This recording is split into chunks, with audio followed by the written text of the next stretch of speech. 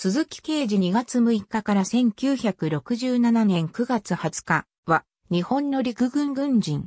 最終階級は陸軍少将。1941年から1942年にかけて存在したビルマの独立運動の支援を任務とする日本軍の特務機関、南機関の機関長。この経歴から日本版アラビアのロレンスと称される。静岡県出身。鈴木房蔵の長男として生まれる。浜松中学校を経て、1918年5月、陸軍士官学校を卒業。同年12月、不評少尉に任官し、この F 票第4連隊付けとなる。1929年11月、陸軍大学校を卒業し、翌月、この F 票第4連隊中隊長に就任。1931年3月、参謀本部付勤務となる。以後、参謀本部員、参謀本部付青具付を務める。1933年8月、不評少佐に昇進。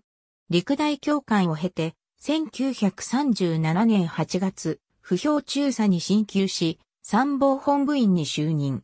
1939年1月、大本営第10課長を兼務し、同年8月、不評大佐に昇進。同年12月、参謀本部付として来院駐在となった。1940年6月から10月まで南駅余命でビルマに出張した。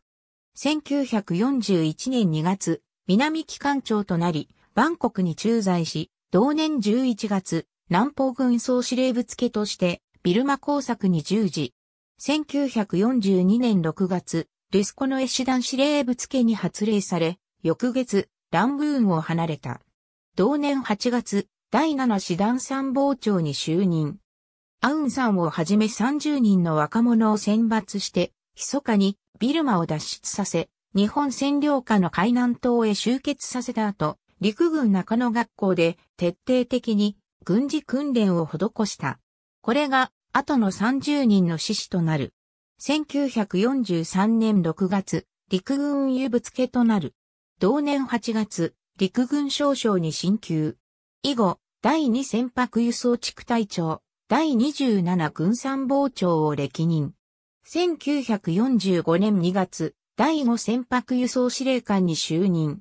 同年4月、札幌地区鉄道司令官を兼務し終戦を迎えた。同年12月、予備役に編入された。敗戦後、英軍から BC 級戦犯に指定され、ビルマに連行されたが、アウンサン将軍の抗議により釈放された。ミャンマー政府は1981年4月、ミャンマー独立に貢献した鈴木ら旧日本軍人7人に国家最高の栄誉、アウンサンタゴン勲章を授与している。ありがとうございます。